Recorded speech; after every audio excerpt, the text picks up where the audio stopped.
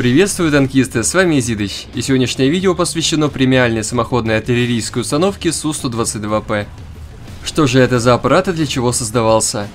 Стимулом создания послужила необходимость дать частям мощное мобильное средство огневой поддержки. Сборку Су-122П начали в мае 1944 года. Как и прежде, при создании Су-122П использовалось шасси и основная масса компонентов от Т-34-85. Боевое отделение рубку позаимствовали от сотки, также нашли себе применение и некоторые узлы от Су-85. Но производство этой САО было недолгим. А все потому, что 122 миллиметровые пушки в свою очередь шли на танки ИС-2, так что производство САУ с аналогичной артиллерийской системой посчитали нецелесообразным. Теперь о первых впечатлениях и боевому применению. Скажу честно, после покупки этого аппарата чувство вседозволенности у меня не появилось. А все потому, что как дурак ездил по всей карте и пытался быстро выследить противника, за что меня периодически наказывали вражеские танки из засад. Чтобы иметь отличные результаты, нужно правильно отыгрывать роль поддержки, то есть танка, который не лезет на рожон первым, а прикрывает союзников позади на средних дистанциях. В реалистичных боях те же средние танки могут маркировать для вас цели и выкуривать противника из укрытий артподдержкой. Но у меня изначально привит ген Ололо Раша, поэтому я наплевал на все правила и в одиночку ездил по всем точкам в поисках немцев. Для таких же любителей агрессивной игры посоветую двигаться по краю карты, по крайней мере обойти вас с фланга не получится. Кстати, по снарядам, основным используйте бронебойный тупоголовый камерный снаряд. Также оставьте место и осколочно-фугасным. А вот интересная ситуация. Я пробил САУ и убил механика, после чего вражеская техника потеряла возможность двигаться. На его место, конечно же, кого-то посадят, но пока это произойдет, будет слишком поздно. Но вообще таких ситуаций стоит избегать, потому что Як Пантера гораздо лучше чувствует себя в ближнем бою. У нее и динамика разгона лучше, и максимальная скорость, да и разворачивается она гораздо быстрее. Пробить нас тоже не проблема, ну а для самых тяжелых целей у Яги имеются бронебойные подкалиберные снаряды. Еще одна интересная ситуация. Как в вестерне, кто первый сделает выстрел, я первым навожусь на противника и делаю свой шот. И как итог мы превращаем ствол противника в цветочек. После чего жму газ пол и прячусь за брусья, потому что он здесь может быть не один. И по каждой перезарядке своего орудия думаю, как же противник, заметил ли он, что его ствол превратился в вот такую вот надрезанную сосиску. Будет ли он стрелять, ведь это опасно, он может себя уничтожить. Ха-ха, походу он ни черта не заметил. Кстати, для сравнения, я взял ИСУ-122С точно такой же пушкой. Вижу противника и думаю такой. Он мой, сейчас я развернусь, жди. Сейчас будет выстрел. Ха-ха, сейчас будет фраг. Чуть-чуть не успел. И точно такая же ситуация с Пантерой. Пытаюсь развернуться, танк вообще не хочет идти. И вроде бы вот, немножко остается, пока стабилизация произойдет, чтобы вывести, блин, прицел куда нужно. Но не успеваю, ребят, не успеваю, хоть убейся. Но в данной ситуации мне кое-что подсказали знакомые танкисты. Предложили не просто поворачивать влево или вправо, а при этом еще давать задний ход, чтобы быстрее развернуться в необходимом направлении. Давайте внимательнее рассмотрим пушку на Су-122П или ИСУ-122С.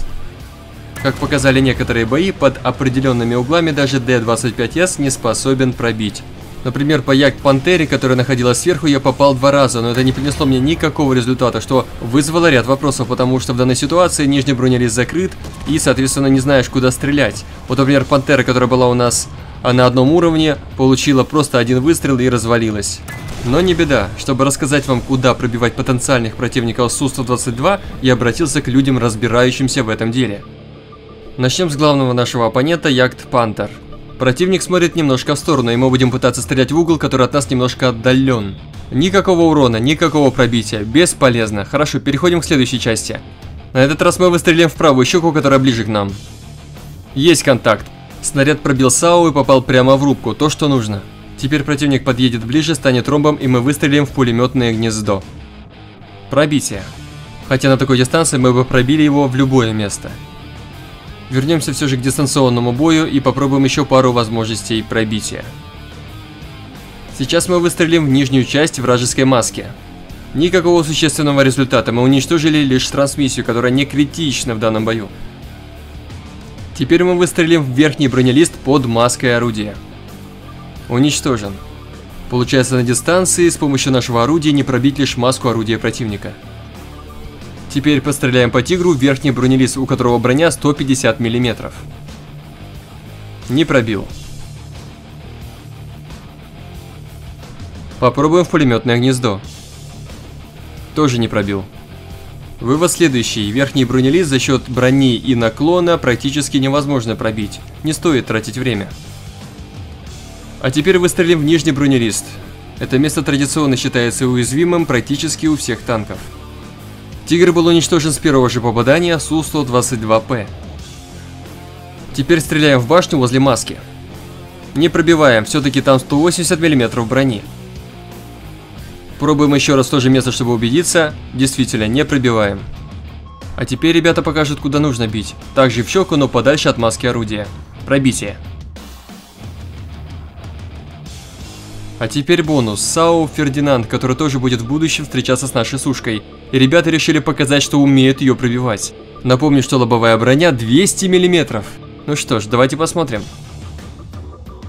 Удивительно, Фердинанд был уничтожен с одного выстрела, ваншот. Я решил убедиться еще раз и попросил ребят повторить эксперимент. Перед вторым испытанием ребята сказали, что сделают такой же выстрел и снова будет ваншот. Честно говоря, я не поверил. Удивительно, но факт, такие же повреждения. Ребята действительно знают, как пробивать Фердинанда.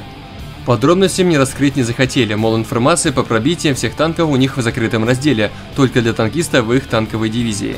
Поэтому могу лишь предположить, что под определенным углом рубка все же пробивается. В любом случае, на видео вы видели, куда велся огонь. Как будет информация, я посвящу этому отдельное видео. А пока с тестами завершили. Как итог, скажу, что Су-122П отлично уничтожает технику противника, что дает приличный фарм. Хорошо маневрирует, но не умеет держать удар. Техника, требующая осторожной игры, а не бездумных рашей в стиле средних танков.